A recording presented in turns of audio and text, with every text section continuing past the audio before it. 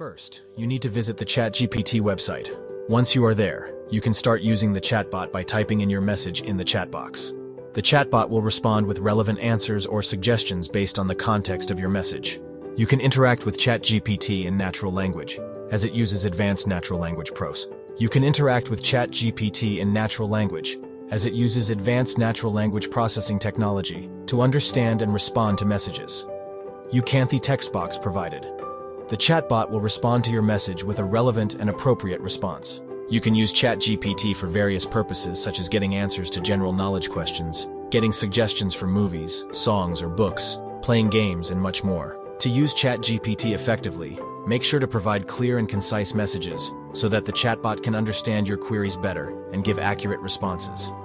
Also, be patient while waiting for a response as the chatbot might take some time to comprehend your message and come up with an appropriate reply.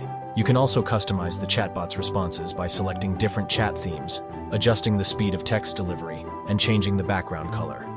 Overall, ChatGPT is a great tool for conversational AI and can be a useful companion for anyone looking for quick answers or a bit of fun conversation.